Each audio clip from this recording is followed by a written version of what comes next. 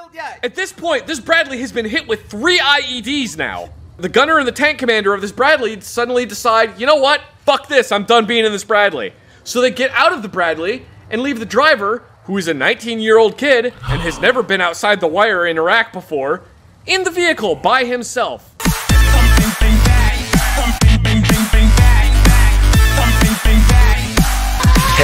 Hello, welcome back, my friends. If you're new here, I am Lance B, and today I want to give a big shout out to both Jordan Reese and I'm already gonna know I'm gonna mess this up, and I apologize if I do. Erd Erd Nuss Bear 42. Erd Nuss Bear 42. If I mispronounce that, I am sorry. But both of you really wanted to see more campfire stories, and I do too. So today we are going to react to more of Mike Burnfire featuring Zach Hazard, uh, campfire stories, Bradley slash Gloves. Is that what the is that the name of it? Yeah, Bradley slash Glove slash Gloves. Hooked on phonics. Lance, words, words. Use words. People can understand you. Uh, so yeah, I'm really excited to check this out. And uh, thanks for the comments and thanks for the suggestions because you guys are really loving these campfire stories, and I am too. And uh, if you guys want me to, I know a few other people like, are you going to do more of the Fallout 4 with the Mike Burn Fire? I probably will. I'm going to mix them up. Um, but since you, the campfire, that's been blowing up, guess what? If it gets good numbers, what do you think I'm going to do? I'm going to react to the ones with better numbers. So, without further ado, let's get into this video because that's what you want to see and not me jibberjawing. Here we go. Hey, all you little fucking nerds watching online. We like to fuck in the ass. X-rated! Woo! Yeah, yeah, come on, baby. Were you also required to clear a Bradley at one point? Why would they call you a small arms repairman? Um, because technically. because technically a Bradley is small arms? Yeah, technically, as far as the army is concerned, the M242 chain gun on the front of a Bradley is considered small arms. Good grief. So are 155 millimeter howitzers. I, I don't know how much larger small guns can get. Uh, I think their logic behind it was, well, it's small enough that a person could theoretically move it, so it must be small arms. Oh, the truck broke down. Get our small arms repairman in over here. Yeah, a six-cylinder engine is kind of like a gun. I, I, would tell the story about me having to clear the Bradley, but it is a long story and it kind of makes me really angry. So one night, I'm sleeping in my barracks room in Iraq. Someone comes and starts pounding on my door, wakes me up. Specialist, get up, get up. There's someone on the phone for you. Alright, fine, so I go answer the phone. And it's somebody from one of the other companies, and they're telling me, we need you to come over to this gate over here and uh, clear Bradley. What do you What do you mean clear Bradley? Well, we need you to come make sure that the main gun on this Bradley is cleared. Before we go, I thought Bradley was going to be like a Fort Bradley. I had I was so off on this theory. I really thought they were going to be like, oh, I was at Fort Bradley. Boy, I was wrong on that one. And uh, FYI, love the little Eyebot they have just chilling right here on the side, listening to the story too. Gotta love that. I mean, I can do that theoretically. I haven't worked on one since I was in like job training, but all right, where where's the gunner? Well, he's gone. Where's the driver? He's gone too. where's the tank commander? He is also gone. Where was everybody out to lunch? When they said gone, I assumed they meant that everybody in this Bradley had been killed and they had towed it back to the gate and that they needed me to come clear it before they brought it into the base because you can't just be driving a armored vehicle around with a 25 millimeter chain gun loaded on it through a base with people in it. Why not? You know somebody would be stupid and be like, "Look, I'm a gunner," haha, and then they would just rip 12 rounds through the side of a building. okay, fair enough. So the next day, I found out from somebody else that what had happened is some of the people on gate guard had noticed that there was just a Bradley driving up and down one of the main routes by itself with no other vehicles with it. That, that's abnormal. They're normally part of a caravan, right? Yeah, they're normally part of a convoy. Why is this Bradley driving around by itself? So they get in a Humvee, they drive out to there, and they find this Bradley, They have to get in its way because it, it keeps trying to drive away. That's so weird. They can't get a hold of him on any on any radio There's ghosts. So they basically just park right in front of it and flag him down and take like 20 minutes to coax this driver out of the vehicle, reassuring him that yes, in fact, they are US soldiers and no, they're not going to try and kill him the moment he gets out of the vehicle. I, I'm still not sure why he was driving around by himself. Oh, I'll get to that. What happened was this Bradley was part of a armored vehicle convoy that had driven through five different areas of operation, and this Bradley got hit with an IED. Everybody was a little shooken up, but they were okay. So they moved Bradley to a different spot in the convoy, kept going. It got hit with another IED. So they moved it to another spot in the convoy, You're just rearranging deck chairs on the Titanic. and it got hit with another IED. it's still yeah. At this point, this Bradley has been hit with three IEDs now. The gunner and the tank commander of this Bradley suddenly decide, you know what? Fuck this, I'm done being in this Bradley. So they get out of the Bradley and leave the driver, who is a 19 year old kid and has never been outside the wire in Iraq before, in the vehicle by himself. And then they start the convoy back up. Did- Ten minutes later, guess what happens? I don't know. the Bradley gets hit with another IED. This one is so bad that it knocks out the comms in the vehicle, meaning that it, the driver can no longer talk to anybody else. The driver hits his head against the inside of the vehicle, gets knocked unconscious, and the rest of the convoy goes, he's gotta be dead, and leaves. The vehicle is still functional after being hit four times. And they leave him, completely forgetting the first part of the of the soldier's creed, I will never leave a fallen comrade. They just leave him. Didn't even grab his dog tags. No, nothing. The rest of the convoy just went, fuck it, drove off. Driver wakes up. He's suffered a serious concussion, doesn't know where he is. Whoa, whoa. Doesn't know why he's in the si- in a Bradley by himself. Doesn't know where anybody else is or why he's bleeding from the side of the head. Jeez. Can't reach anybody on the radio. The Blue Force tracker system is down, so he can't figure out where anybody else is. So he just starts doing the only thing he can think to do, which is drive up and down the main route all by himself, looking for the rest of his convoy, because he assumes there's no way they would leave me behind. Why would they leave me? Oh, the story's kind of dark. This poor 19 year old kid got left all by himself in the middle of Iraq because his tank commander and his gunner decided they didn't want to be in a vehicle that got blown up anymore. It seems so irresponsible to leave him there. It was incredibly irresponsible of pretty much everybody in that convoy. Yeah, no shit. The fact that not a single person went, um, why are we just leaving Private Snuffy in this vehicle all by himself? I can only hope that the lieutenant or officer who was in charge of that convoy got his ass handed to him and got court-martialed and Yeah. was never in a position of command ever again.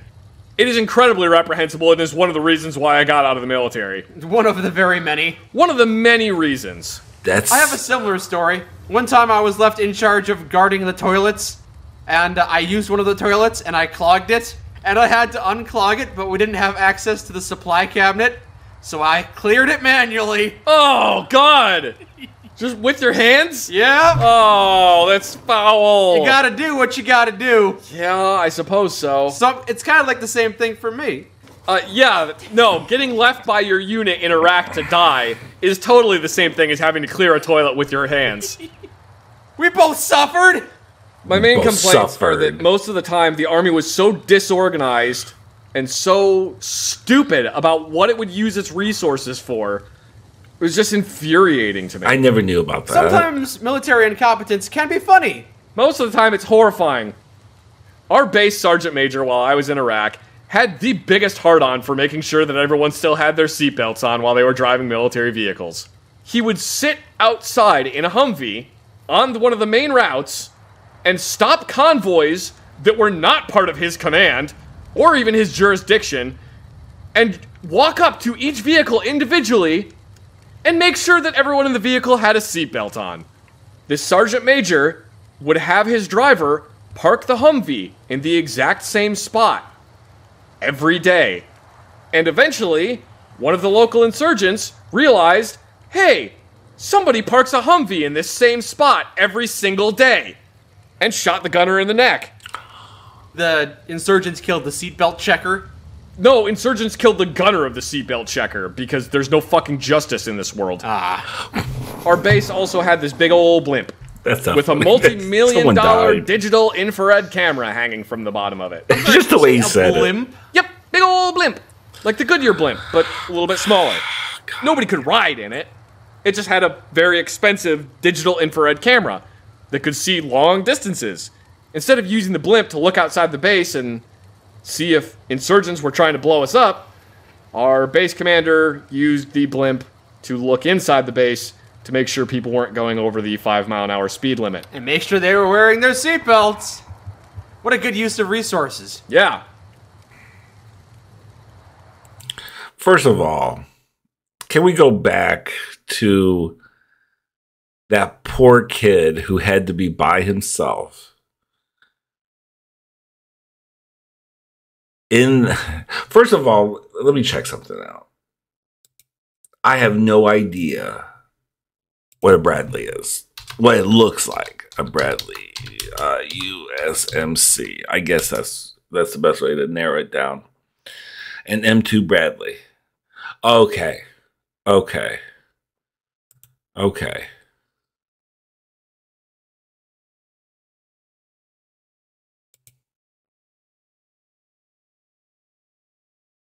Okay. So basically it looks like that. That's that's what Bradley looks like. Wow. Wow. Did I get hit four times? Woo, baby. Jesus. I uh, I Chihuahua. Oh wow. Ooh. And everyone just leaves him. Everyone just leaves this poor 19 year old kid. That poor kid. I, I Jesus Christ. I remember when I was 19, I'd be shitting my pants. Poor kid. Good lord. And then some other asshole just wants to worry about checking seatbelts and shit and five miles an hour. Good lord. Let's keep going. At one point, I was issued a belt fed machine gun. I don't know why. I think probably because somebody in my chain of command was mad at me. so they gave me an M249 because they were like, fine, make him carry around this 13 pound piece of shit. Mm-hmm. I discovered on a firing range that if you use this machine gun while wearing Nomex shooting gloves, there was the potential that the glove could get caught in between the trigger and trigger guard, thus making the machine gun continue to fire even when you release the trigger. First, I actually talked to my chain of command and said, hey, this is really unsafe. Can I cut the trigger finger off of my Nomex glove so that I don't accidentally have a runaway gun and shoot somebody? Was the Nomex glove issued to you? Yes. Ah, you can't do it then. Well, no, they were issued to me, but the, the Nomex gloves are considered an expendable item. They don't expect them back. Oh, okay. And they said, you know what? That's a really excellent safety concern, specialist. Thank you for bringing that up to us. Why don't you go ahead and do that? And I went, okie dokie. So I cut the trigger finger off my Nomex glove. Well, a bunch of other people saw me running around with a glove that had one finger cut off of it. And they went, that looks cool. So they cut all the fingers off their gloves. Oh, brilliant. And Started then, a trend. literally the next day at formation, everyone got yelled at because a bunch of people were going around cutting the fingers off their Nomex gloves. And their excuse was, yeah, but I saw Specialist Zach do it, so that means I can do it too. Specialist Zach had a legitimate safety concern. You guys are just freaking idiots. It's nice to have a story about your leadership that doesn't exemplify how stupid they were. I felt validated.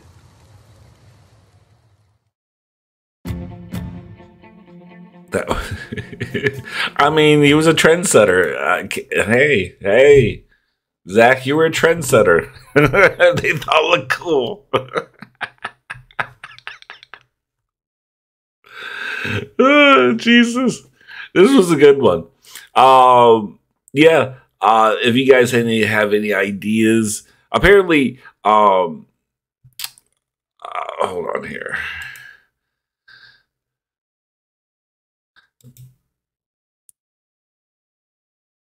who was it? Yeah, Jordan realized said to me that the um the anger management was like a good one to start with, and thank you for saying that because usually with my luck, I would pick for some reason that came up first. Thank God for because I have the worst luck, and usually I would probably have that one on the last of the rotation of all my videos and wish and afterthought forehand for hmm what's the word i'm thinking of?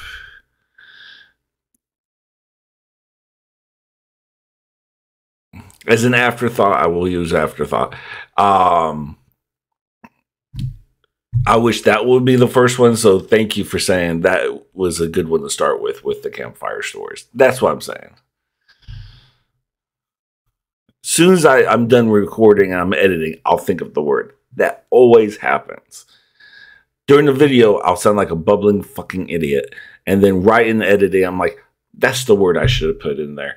Oh no, I should have said that. That sounds a little bit more clearer. I don't know. I'm still learning. After three years on this chat, but having now two channels, I'm still learning. It's a learning experience over time. So, um, I hope you guys enjoyed that.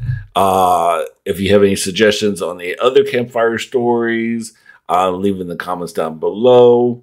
And uh, of course, take care of yourself, take care of each other, and bye. I almost burped just then. I'm, been a real classic.